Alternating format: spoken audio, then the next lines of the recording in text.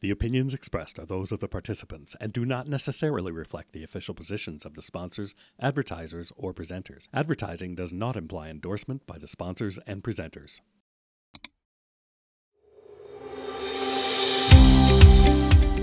Hey guys, and welcome to this week's episode of the Lighting Controls Podcast. We have another fantastic guest for you today, someone who you may remember if you've been with us from the beginning, all the way back to the conversation series. But before we jump into it, let me just take a minute to remind everyone that today's episode is presented by the LCA, the Lighting Controls Association. And it's financially supported by the National Association of Innovative Lighting Distributors, or NAILD. Check out our website, lightingcontrolspodcast.com. We have all of our episodes, a news feed, as well as a merch store if you want to support the podcast. But until then, let's get to it. So today we've got Javid Butler, who you were on our show a long, long time ago in the conversation series, and we brought you back. But now this is the official Lighting Controls podcast. And uh, for those who aren't familiar with who you are, do you mind just giving us a quick breakdown on who you are and what you do? So, um, I'm a consultant. My company is uh, HC Lambda LLC, and I also participate in uh, standards development. Uh, so I have some exciting updates for you on a couple of uh, standards related to DMX 512. Uh, I uh, also contribute articles to protocol. So some of your viewers may have seen some of the protocol articles that I've written. And I am working on couple of books right now one on DMX 512 in the built environment, and another on color control with LED lighting, uh, both of which have uh, been very popular topics. Well, thank you so much for joining us again on on this podcast. I think you know your Love experience and background in the world of entertainment, color changing, DMX 512, all of those things are really important topics to discuss. And you know, I think on that point, you know, you're you're writing a book on DMX 512 in the built environment, and so you know, just curious. Uh, I'm sure a number of people who are unfamiliar with DMX might go, "Can you really write a whole book on that?" yeah, the, the problem is actually keeping within the word limit that I have. well, so. so so give us give us a little tease of of what specifically you're talking about in this book and, and what the, the core sure. focus is. So um, we've had DMX 512 in entertainment for, you know, going on 40 years. We're getting getting pretty close to there. DMX 512 started in 1986. And um, it's only relatively recently that we've seen DMX 512 really migrate strongly into the commercial environment. So mm-hmm. uh, this this book is really oriented more towards people who are just discovering DMX 512 for the first time. Uh, there's a real difference between entertainment folks and uh, folks working in the commercial market when it comes to DMX 512.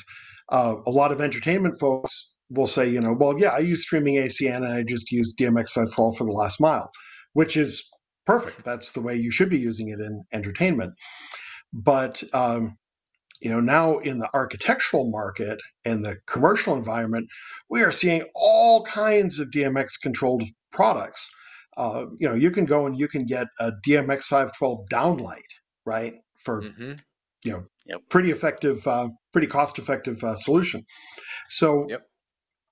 as well as uh, we're seeing uh, tape light, cove light, um, and just the opportunity for people to use color in commercial spaces in a way that they've never been able to do before. And um, this is really no longer um, entertainment anymore. And so it's outside of the world where you've got trained stagehands who have years of experience setting up DMX 512 systems.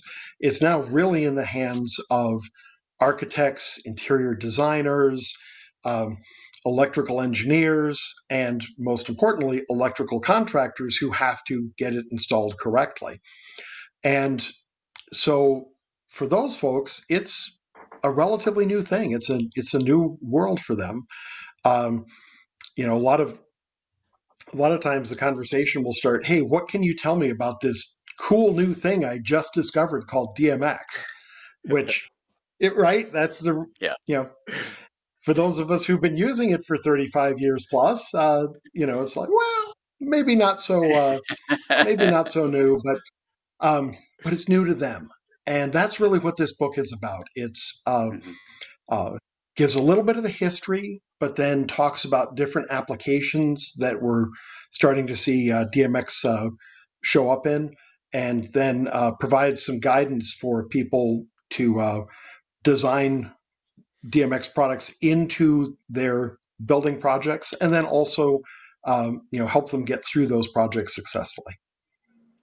And so I'm curious, you know, uh, maybe you go into this in the book or not, but um, just out of curiosity from the perspective of people who who might go, well, why DMX? You know, what is the benefit for a standard recessed downlight to go DMX with its control protocol rather than 0 to 10 ELV or DALI? So with 0 to 10 or ELV, you might get um, a, uh, a warm dim fixture, but you're not going to get full color tuning. So mm-hmm. if you're looking at uh, just doing warm dim, then yes, those other protocols are perfectly viable. When you start to get into color tuning, or even when you get into uh, circadian entrainment, where um, you're not just doing a warm dim, but you're actually doing white tuning, where you've got two different emitters that you're tuning throughout the day. Um, things like ELV and uh, zero to ten become uh, more more cumbersome. Uh, that you know you you have more wiring that you have to use. Uh, mm-hmm. You don't have individual control of each fixture. It starts to get uh, fairly complicated uh, very quickly. Uh, it, it could work for you know relatively small space. You know, you get into a larger space and it and it becomes uh, more difficult. So mm-hmm. for white tuning, say for circadian entrainment, uh, DALI is you know still a very good choice and it's used in in many places. That starts to hit the point where DMX 512 and DALI begin to overlap. But then when you get into color tuning, when you get into that point where you're trying to create an, an environment or an experience within a space mm-hmm. and add color, whether that's just as an accent or whether you're trying to do theming, um, that's where DALI starts to starts to lose effectiveness, and you see DMX 512 start to pick up. Uh, primarily because of the response of DMX 512. It is uh, uh, a lot faster than DALI, so you hmm. can do things like color fades, color chases, add a lot of excitement to a space. Um, and uh, it's also very easy to wire, uh, relatively speaking, if you have laid everything out correctly. When you, mm-hmm. you the problems that people run into are when they haven't properly laid out a DMX system and then they're trying to do it on the back end and and it becomes complicated. So yeah. Um, and so, uh, just just gonna, Go I'm just gonna stop you there for a second because, um, you know, I, I feel like there are a number of people who are going, well, how can I screw up DMX? Like, what what is he talking about? And so, I was curious if you would mind sharing like some of the the accidents that happen when it comes to DMX? Well, the biggest ones are uh, really with the wiring topology. Uh, yep. DMX 512 is a very, very robust system uh, when it is installed, for example, with the proper cable. Uh, but mm-hmm. if you don't use the proper data cable, then you wind up having problems. You know, the the joke is that you know you can run DMX over barbed wire if you want to, but you're only going to go about six or seven feet, right? Um, don't don't don't use barbed wire for DMX. Um, and well, and and um, on top of that, I've I've heard the phrase DMX works until it doesn't. And so you may precisely. actually have a successful barbed wire installation that will work until it doesn't. Right. Like one of these days, I should probably build a barbed wire installation to show people just how far you can go with DMX over barbed wire. It's not. It's not very far. Um, So yes, DMX works until it doesn't. And yep. in commercial construction projects, everything has to be planned out in advance, right? It mm-hmm. if you go back and say, you know, oh hey, we have to add a distribution amplifier here, or um, mm-hmm. you know, we have to run more conduit. That that gets to be a problem sometimes. Uh, you know, particularly for example in uh, buildings that use uh, uh precast uh, concrete structures where they have to plan out every hole that they drill and make sure that it works. So um, it, it really does come down to the, the planning. In the entertainment environment, if you've got a flickering problem and you go, oh, you know, we're just running a little too far, great, just grab a distribution amplifier, plug it in, boost the signal, have a nice day, right? But in the uh, commercial environment, that's not so easy. So, um, you know, planning out the run lengths, planning out the um, number of fixtures per run. Um, I always advise to stay within the 32 limit that is mm-hmm. uh, in the DMX 512 standard. Um, are there chips now that can go more than 32? Absolutely. But you don't know what the conditions are that you're installing in. So keep it right. safe. Right? Um, yeah. So you know, and you have the, so you have the old you have the old adage too of of copper's copper, right? And and in this mm-hmm. case, it's not. So for those of our listeners who may not at this point, right, in case it's someone new who maybe, like you said, is just running into DMX, why is wire type so important, and what is DMX, right? Because there are listeners who actually may not know what that stands for.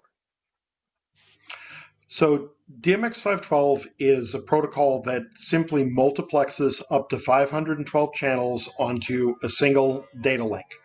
And that data link is based on uh, a um, industry standard protocol called, or industry standard signal. It's not a protocol, it's a signal uh, called EIA 485.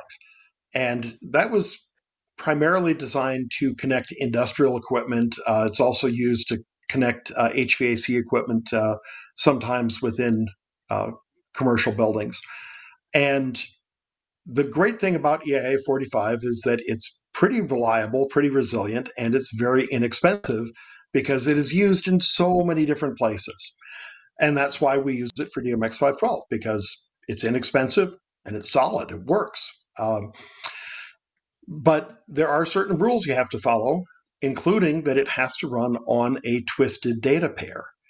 And sometimes that has been a, a point of confusion, less so these days, but you have to use a, uh, a cable that is suitable for that uh, EIA 485 signal.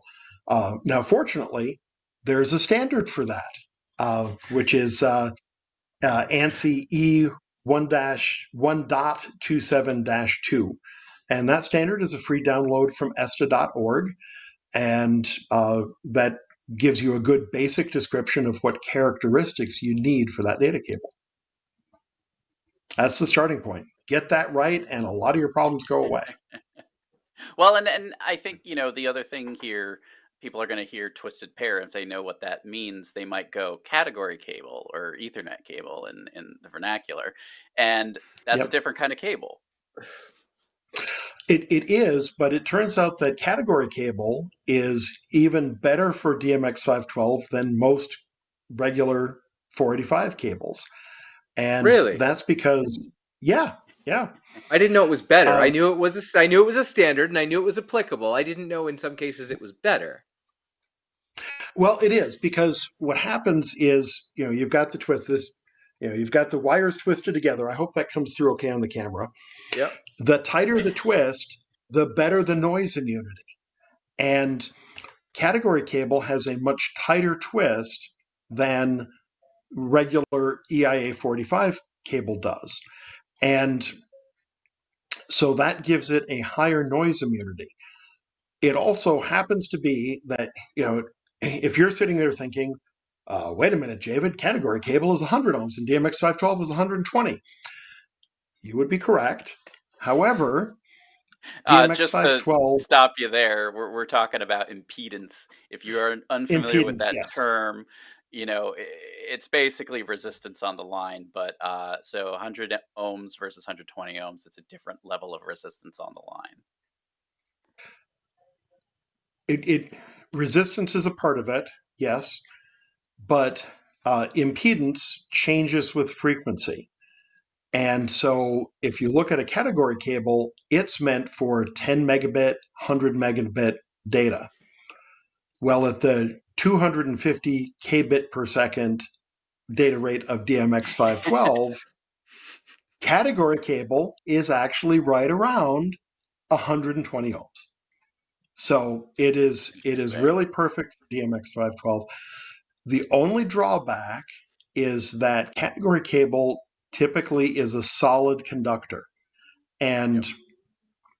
um, that can create problems because if you, it's a very small solid conductor, and that very small solid conductor can break right at the connector if you don't handle it correctly. So, a um, couple things that um, that work are you can use uh, splices. Uh, they're often called jelly beans. They're little tiny connectors that uh, are uh, a crimp connector that electricians use quite a bit for for data work, um, and uh, you can use that to splice onto the uh, the the category cable, uh, or you could simply punch down that category cable on a standard RJ45 and then just use a short pigtail that has stranded wire to make your final terminations. Um, and I've done a number of projects this way, and uh, they are still working great years later. You just have to think about those things up front, plan it out up front, and then it becomes um, a very reliable way to use category cable. So, so we've gotten that, super specific and super nerdy and very yeah. focused. I'm gonna pull it back now. Now that Absolutely. I feel like some people are gonna be like, respond listening to this and going what are they talking about and why are they talking about it well eh, and and if that's the thought you're you're going through it it's not as hard as we're making it out to seem we're just getting into the the logic of why but ultimately you know a lot of this stuff is readily available on on websites yep. and resources for dmx so um, proper procedure proper installation of dmx is actually a lot easier than we're making it out to seem that having been said, you know, going back to this whole goal here of the book that you're writing, you know, I'm guessing you're not yep. getting to this level of detail. I, actually, I do, but um, I explain it and have pictures. So. Interesting. So, yes, I think, you know, people who are listening to yep. this who are going, what are they talking about? This sounds like a really great resource for those people as sort of a primer to DMX 512. Mm. It, it, it is absolutely intended that way. Um, we we have kind of skipped the the biggest reason why contractors like category cable, uh, which is because it's inexpensive and it's something they work with every day when they're yep. running Ethernet inside buildings. So, you know, as opposed to an RS-45 spec cable, the contractor probably already has it on their truck they probably have mm-hmm. several spools of it already on their truck. And they have people who are familiar with handling it, punching it down, working with it, and yes. all of that. So it, um, uh, again, not to get too far down into the weeds, um, but uh, uh, there, there, are a lot of advantages uh, for a commercial project to using uh, category cable for, for DMX. Well, and I think, you know, one of the common misconceptions about DMX that may be persisting as a result of this this miscon- this misunderstanding of of impedance is the fact that, you know, Ethernet or category cable is just as if not better in according to you than RS-485 cable and mm-hmm. additionally because of that some people might not realize that that's an option available to them for DMX. They might think you have to do RS 485. And so. Well, and let's just differentiate there you know, when you're pulling wire through the wall of a building, mm-hmm. category five has some real advantages. You don't want to be using it on a stage production. You know, there's plenty of good RS-45 spec cables that mm-hmm. um, come with five pin XLRs on them, uh, and they're ruggedized. You know, those those are the cables to use for production work. Uh, what we're talking about here is uh, doing uh, projects in the built environment where uh, it's a very different world than uh, than on stage. Um, so just just to be clear about that. Yeah, no, I, I think and that's a I, good point. Yeah, and, I, and I'd say just, too. Uh, so, oh, go yeah, go ahead. Um, one thing about portable cables on stage. Um, hopefully, this has died down, but I still occasionally hear people talk about doubling up the pairs. You know, you've got two pairs in a cable, and they talk mm-hmm. about putting both of them onto pins two and three. I have one word don't. Um, the reason is, and I've heard every excuse in the book. We talked a little bit about impedance, and I don't want to go into all of the explanations of impedance, but it's not like resistance by itself, right?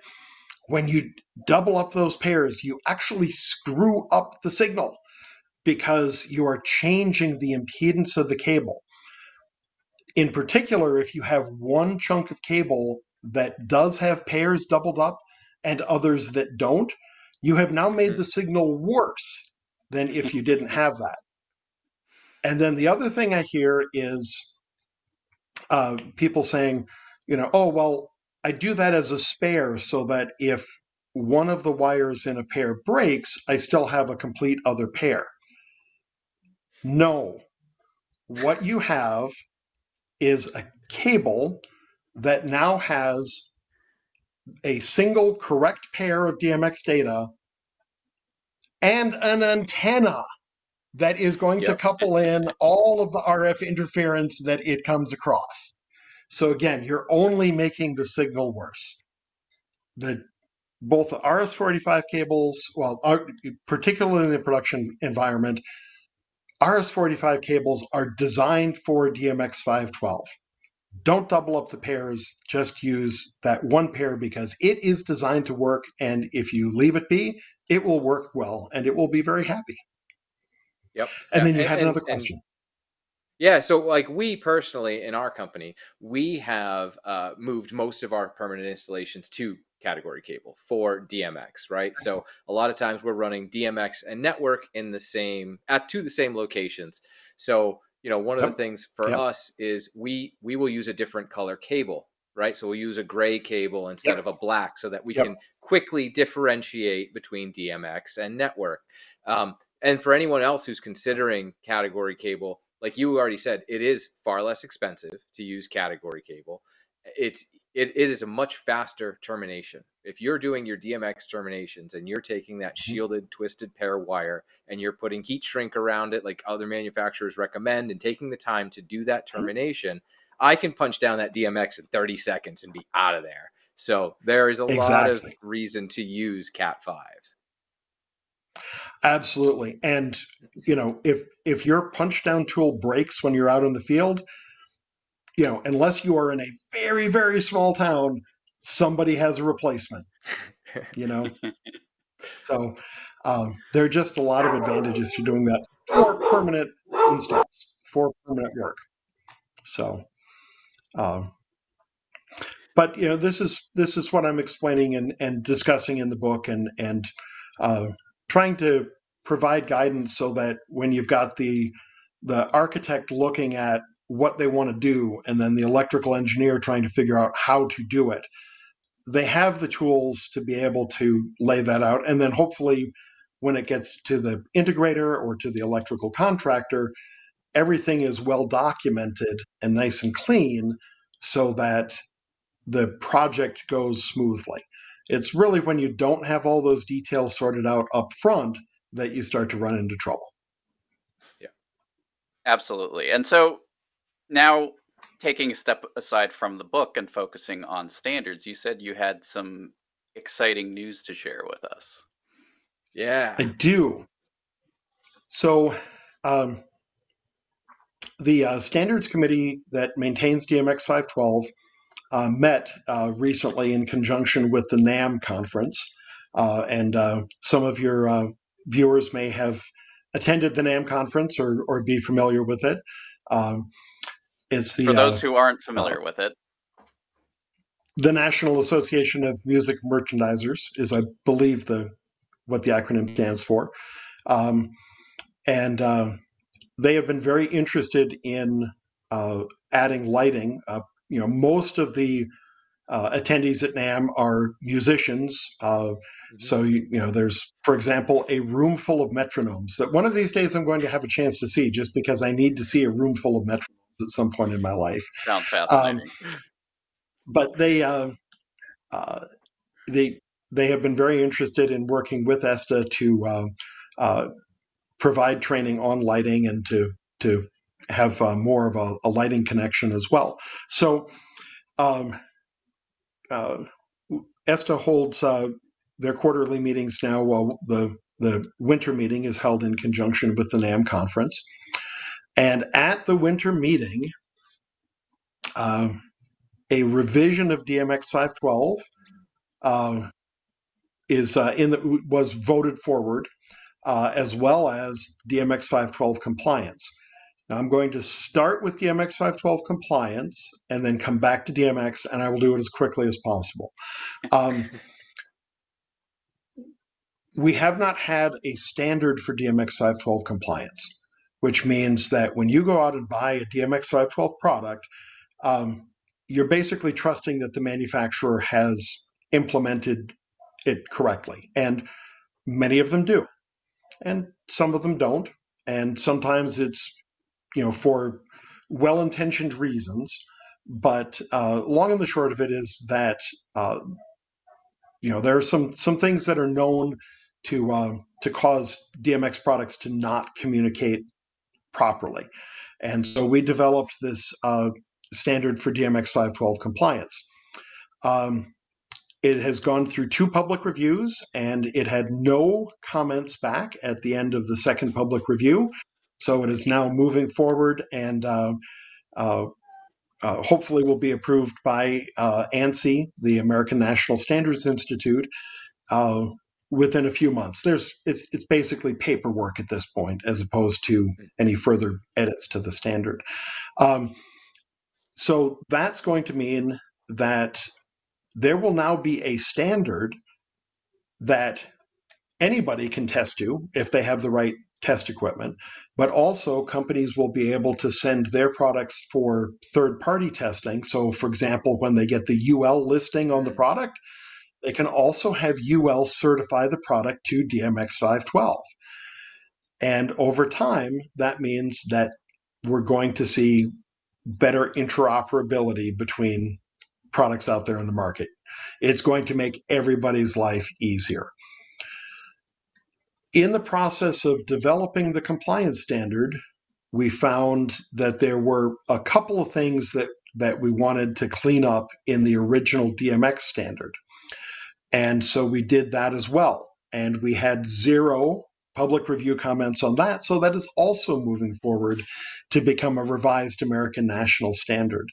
Um, one of the areas um, that, um, in particular, uh, I, will avoid some of the really technical stuff because a few of the details were really, really technical. Um, but uh, for example, added a, uh, a labeling for data loss behavior. Previously, mm-hmm. the standard basically just said that manufacturers shall declare their data loss behavior, but we didn't have mm-hmm. any standard way of describing it.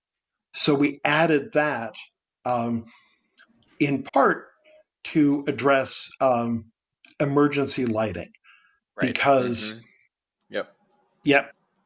Um, because the UL the, the, UL 924 standard requirements now uh, basically summarized say that if it has a data loss behavior that's emergency status go to go to a certain intensity that meets the emergency illuminance, then you don't need a UL 924 device between the luminaire and the control system to sever that connection. You actually, well, um, it's a very simplified. Again, yep. Um, what what this will allow is that um, if you have a UL 924 device that does break the data line, you don't have to have a separate UL 924 listing on the light fixture. Mm-hmm. And that's been mm. problematic for. That's right. Um, yes. Yeah. Yeah. Um, that that's been problematic because uh, you know getting UL 924 on a light fixture is a relatively expensive process and that's fine if you're talking about an emergency light such as a troffer, right? Where you're making where the manufacturer is making millions of them every year and you know it becomes a relatively small adder. Now you talk about a DMX downlight or something like that, and that's a much bigger cost relative to the the number of fixtures that you're going to sell. So this uh, um, now I, I, I, should be careful because um, the final revisions to the electrical code haven't been published yet. But uh, basically, the way that uh, everything is heading is that this revision in DMX is now going to enable fixtures to be used as emergency lights with what looks like the new language that we're going to see in the electrical code. So it's going to make our lives easier, is what it comes down to. Um, so very excited that that both of those standards are moving forward. Uh, again, they have not been finally approved yet, but um, basically at the point where there are no further public review comments, then uh, it largely becomes a matter of, of paperwork to get it done. So well, very excited. This is, you know, it's really exciting to hear about this because I think one of the challenges from a specifier's perspective was always how do I ensure that the manufacturer is meeting DMX requirements? And yeah. part of that just became experience. You know, oh, I know this manufacturer does this, does DMX this way. And so I need to treat it this way versus that manufacturer. Whereas now with a compliance standard, that really ensures this consistency that wasn't always there. That was exactly why I put the last five to seven years of my life into that because having having that consistency, you know, and it'll take a while for for fixtures to get listed and and yeah, uh, sure.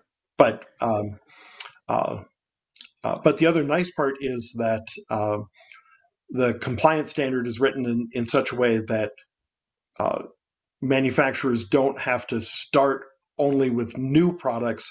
They could take their existing products and just start by running the tests internally. You know, they could just mm, yeah. do all of the tests themselves and see how they're doing, and maybe just do a firmware upgrade. And um, you know, they don't have to send it off to a testing laboratory to to figure out whether or not they potentially have issues or not. Yeah, so it's great to hear this because it's it, it's hopeful that we'll start to see not just the big players, right? Because as, as I'm sure you are both very well aware, a lot of the issues in the mm-hmm. field mm-hmm. is from the five dollar DMX driver that the contractor bought online because it said it was a DMX driver yep. and it's just you know right whether it's white or, t- or color changing didn't matter, and not all DMX drivers are created equal. This should hopefully start to level the playing field and eliminate a lot of those issues that we see from you know not so reputable manufacturers making drivers. Well, and as manufacturers start to even do self testing on their own products, when you have a light and a driver or a controller and a driver that are put together on a job, then all of a sudden, if you do have that problem and one of the products has been certified, or at least the manufacturer has gone and done the testing themselves, um, it'll be a lot easier to resolve that responsibility because you know the, the first thing that happens when you have a, an issue with dmx products in the field is this right everybody's pointing yeah. fingers at each other um. So that should that should help quite a bit um, it, there's also a section just on uh, best practices for dmx 512 um, and we wrote that as a separate section so it can be the kind of thing that you can just print out, hand to the electrical contractor, and say, you know, here's here's some training. You know, maybe along with a copy of my book, but um, uh, the information is there. Well, and and so I mean, I think that's the other thing that's fascinating about DMX is the fact that there's a lot of resources out there that people could accidentally put in their heads as optional rather than strongly recommended because mm-hmm. when you don't make it a standard it's not a requirement and when it's not a requirement it kind of gets sort of put on the back burner for focus so as a result you know i think people who do want to learn about dmx there's a whole host of resources out there whereas people who are being required to do DMX but don't understand it and don't really want to invest mm-hmm. the time, you know, that's another argument to be made for compliance standards because of the fact that, mm. you know, yes, there is a wealth of knowledge out there to talk about DMX, but best practices are not requirements. Best practices right. in people's minds are okay, it's a it's a good idea to do this. But when talking about best practices for DMX, at least in, in my mind, and and I don't know if it's the same in in both of your minds, but that is basically saying read this before doing anything. This is your instruction guide. Mm-hmm. It it at least gives a starting point. Um, right. Yep. If if it leads people to start asking some of the right questions, then the then the job is done right? Because it's when people don't ask those right questions up front and yes. then go ahead with something, maybe using the wrong wire or cable, um, you know, running things inappropriately. That's where you run into problems that you have to fix down the road. Yeah, what it's the what what is this Terminator thing and why do I need it? What, what I don't understand. well, and all right, so we're almost out of time here, but I, I just want to kind of encapsulate this because I think this is all fascinating and, and excellent stuff. But I think some people may have gotten dizzy with the technical lingo that we've been th- throwing at them. Um, but as far it's as it's not that go, hard, guys. It's not. It's really not. And you know, if we have made it seem a lot harder, I apologize. I really hope that people who are unfamiliar with DMX 512 won't reach out and and ask for more because there is plenty, and we're happy to to go over this with you. Um, mm. You know, Javid and I have have had hours long debates about DMX. So, but um, you know, basically DMX 512 digital multiplex 512 multiplex addresses um, being sent down the same line it has its very specific needs um, that's why you know, Javid here is writing a book on it for permanent installations because of the fact that in a an entertainment environment, it's a very flexible resource because of the way that it's installed. But in a permanent uh, commercial installation, you really need to lay it out precisely beforehand. Otherwise, you can run into real trouble, especially if you don't use the right cables or you exceed limitations like distances or devices. Yep. Um, but the mm-hmm. really good thing is when it comes to devices, anyways, there is going to be a compliance standard coming out to vet all of those devices so that, you know, as Javid alluded, alluded to earlier, they're, they're technically 32 devices maximum per daisy chain isn't really the, the hard limit, but definitely a best practice to stay within that number, but the compliance standard will at least enforce that you know it doesn't drop below that, for instance. Um, yeah. You you wanted to correct well, that. I wanted to add to that because yes. um, you know talk with the manufacturers you know work mm-hmm. closely with them um, it, if you don't know for sure, if the manufacturer hasn't given you other information, think of 32 as a hard limit. If the yep. manufacturer is taking responsibility for a layout and they put more than 32 on there, well, now it's shown on the drawings, right? So now you have their submittal package where they show more than 32. And if it doesn't work, then they need to send a tech out into the field to figure out how to make it work right sure. but stick with that 32 if you don't have that that documentation if you don't have that data absolutely and, and on that on that point i mean manufacturers and manufacturers reps when they're dealing with dmx for the most part try to do a hands-on approach with their mm-hmm. designers if they are unfamiliar with dmx 512 if they aren't if they're super savvy with DMX 512 and they've worked on several projects together, then they'll probably have shorthand and they'll they'll breeze through it. But um, for the most part, you know, a lot of reps and, and manufacturers like to make sure that the projects are successful, and so as a result, they will try to check that people know what they're talking about when it comes to DMX 512. Um, but again, with these with this new standard and with the new um, standard for DMX 512 in, in general, there's a lot of movement to ensure rather than just ask that things are being followed. Um, and yep. additionally, you know, with the new standard revision for DMX 512, I, I just wanted to correct the the misspoke misspeaking spoken uh, thing that I said about UL 924. You know, technically, what I said wasn't incorrect, but the more correct thing would have been to say was what Javid said, which is that it's about the UL 924 listing on the Luminaire itself. And so, with that revision in DMX 512's standard, it aligns better with the new UL 924 standard, which is basically saying, you know, data loss behavior, if you lose data running to that fixture, um, you know, it will have this behavior that is more closely aligned with UL 924. So, it doesn't need to be listed as a UL 924 Luminaire. Yep. And and if folks have questions, I would say they should just reach out uh, because it, it is a fairly complicated thing. Um, yes. Yes. And, and and there were a lot, a lot of discussions about the best way to handle this. Um, and I'm pretty happy with with what we came up with because it's something that specifiers can easily work with and uh, and get right.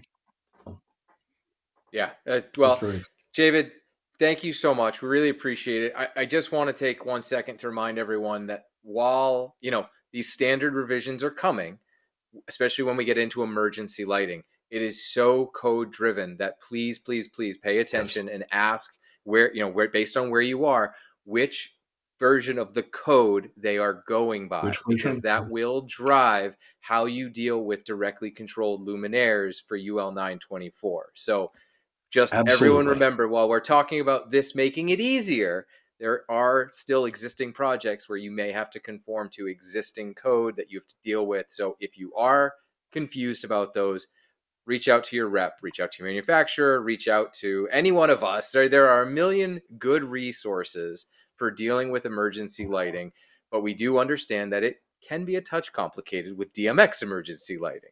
Well, and on on that point, I'm just going to jump in briefly to mention that um, Ron and I have started a committee under NAILD that is going to be talking about startup tech and integration procedures and giving guidance and definitions for all of these things, which are going to support the world of DMX as well as other protocols and signals out there.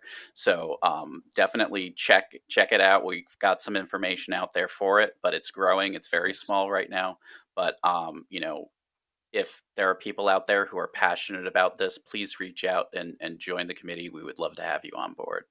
But I'll, yes, I'll let absolutely. Ron take over here. Yeah, yeah. So no, that's great. It's it's we would. We'd love to have you. J- Javid, thank you so much again for coming on. It's great to hear about all this stuff happening. And I, I do apologize, like Webster said, for anyone who felt like we got in the weeds a little bit there, but we all kind of geek out with DMX five twelve a little bit. No, we didn't. But it's it's not hard to do sometimes. But thank you again, and I just want to remind everyone that today's episode is presented by the LCA, the Lighting Controls Association. And it's financially supported by the National Association of Innovative Lighting Distributors, or NAILD. Check out our website where we have all of our episodes, a news feed, and a merch store. It's lightingcontrolspodcast.com. Until then, we'll see you. Thank you so much for joining us. And Javid, really always a pleasure to have you on. And we'll have you on when your book comes out too. Thank you.